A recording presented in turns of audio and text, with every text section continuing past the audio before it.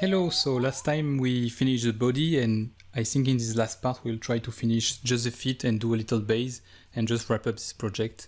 And uh, yeah, let's go. So first thing, I'm going to create a new clay container for the foot. And if you still have your little reference on the side, you know approximately what kind of size you need. But from now on, I'm just going to delete it because now we can just basically reference the rest of our character. So I'm going to create a new uh, 3D clay Clayxel container and I'm going to put it where the foot would be, so approxim approximately there. The last time we did the arm in one container, and I think just to change things a bit, I'm going to do only one foot in one container and then duplicate it, just to show you a different way of doing it, which is actually what we will want to do for animation later on.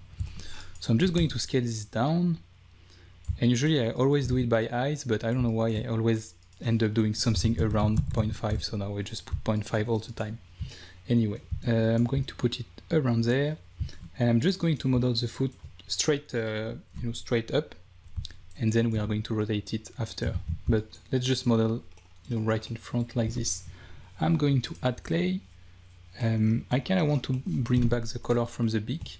So let's just select the beak copy the color and just I'm seeing it it's a bit too far. Yep it uh, going back to the foot pasting and I think today we are still going to use just a sphere and cylinders and that's it. So I'm going to transform my cube into a cylinder, just scale it up to have the leg. Uh, I think this part here will just be the blending between the cylinder and the sphere.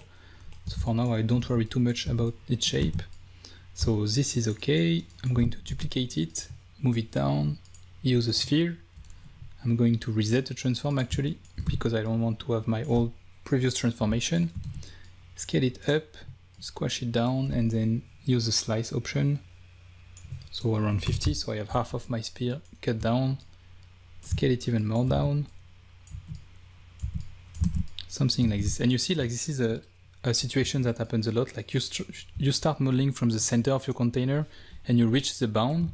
So instead of just like going there and increasing the bounds, which is like it works, but it's not the best for performance, uh, what you can do is just let's move everything there and then take everything inside and move it back you know? Because i know i know with the foot like i'm never going to go backwards but i may go forward. So just try to be smart with how you place stuff inside your containers because that way it will be more performant and you can do even more sculpting so going back to my sphere i'm going to increase the blending and already you see i, I mean it's pretty much done already uh, it might be a bit too thin something like this is good. I think the cylinder is too large and we can play a bit with the cone just to have some, something like this. I think it's pretty good. No, maybe I went a bit too far. Yeah, this is good. Uh, I'm going to hide the body for now because I just want to look at the feet from you know the, the top view and I think like I said in the first video I think like it's good to stay away from perfect shapes for some stuff and when I see this, like I think it's a bit too simple. Uh, if I compare it, you know, to this, I think it would be good if we have like a just a, a more like I don't know squashed end. Um, we could do this multiple ways. I think I'm going to scale up the sphere a bit, just like this. I'm going to duplicate it, right click on the transform reset. So now it's um, at 0, 0, 0.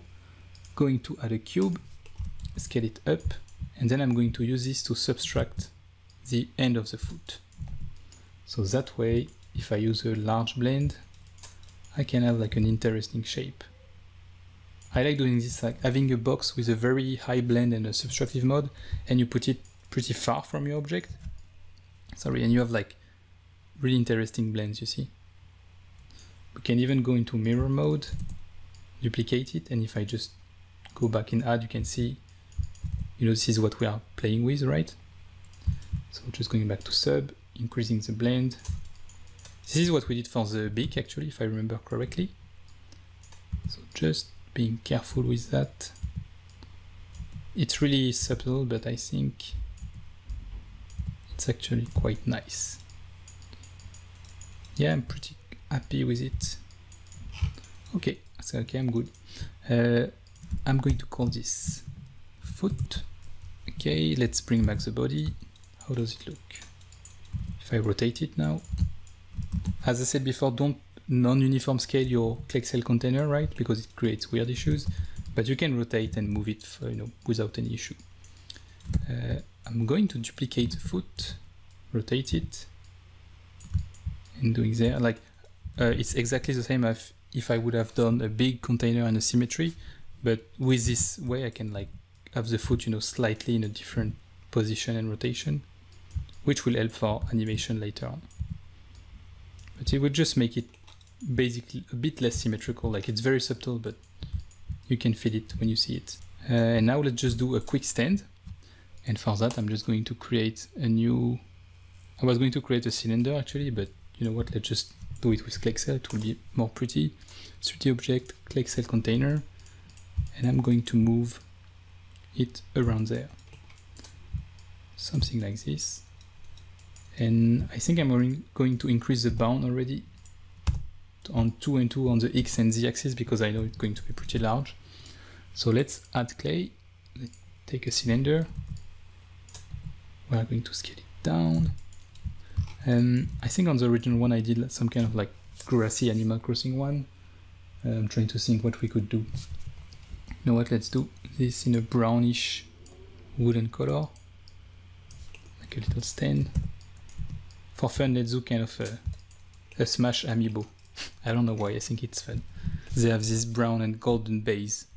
So this would be the edge. Let's do the interior. I'm going to duplicate the cylinder, move it up, scale it down. Let's use a nice gold color. Something like this. And I'm going to add a cube. And I don't even, I don't know why I'm doing this, but I think it's fun. Just have fun with Clayxel, you know. There is no need to be serious. And if we want Roald for Smash, we can have it. So sub. Sometimes it bugs, I have to click it more time. I hope it will be fixed soon. Uh, we want the same color uh, as this. So copy and paste.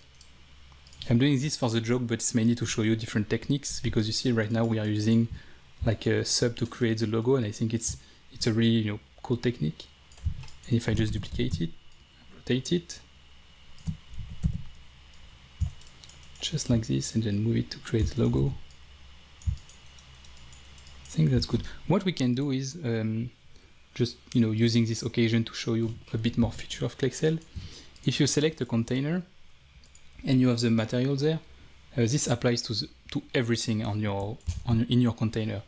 But I would like this part, the yellow part, to be golden, and I want the brown part to be like more plastic. So what I will do, I will call this base gold. I will duplicate it. Okay, so now I have two containers which are exactly the same. I'm going to call this base plastic. And on the base gold, so this one, I'm going to remove uh, uh, remove the first cylinder, okay? Because this was just the base. So if I move this, I only have this. And on this one, I'm going to remove everything except the first cylinder. So now I can I have two different containers, okay? And the cool thing is that I can take the gold one and go into the material properties there and then put it in a in a gold fashion. Maybe add a bit of emissive and I think it looks pretty fun like this. Yeah, I think I think we are good. Anyway, so I hope you enjoyed it. I hope you really learned some stuff about Clayxels So we are done and uh, I just uh, reopened the previous scene I did before this tutorial because I spent more time on it. I think I showed you like almost everything I used there except maybe a few tricks for how, how on how I did the eyes. You know, like I just use Unity spheres, but I will show this later on in other video if you are interested. But basically, yeah, it's we did this with only spheres, cylinders, and box. And I think that's it, yeah. And I'm pretty sure even on, on my version, I didn't do anything else than those. So you see as it's really powerful with just three primitive, we can do like a very complex character. The only thing I changed uh, that I didn't show in the tutorial was just like I did for the orange, I added some light gradient there. I'm just going to highlight it. You see this gradient there, it's coming actually from the clay. Um, same there, like it's very, it's really subtle to see, but I have like a light gradient coming from the top a darker gradient coming from the bottom in the head. Yeah, I just added this in a bunch of places, I think even in the foot, because it add a bit of a more depth to your character basically. And uh, yeah, we are done. I hope you enjoyed it. Please ask for any question in the comments. I will be happy to answer, like any request for tutorials. And uh, see you next time. Bye!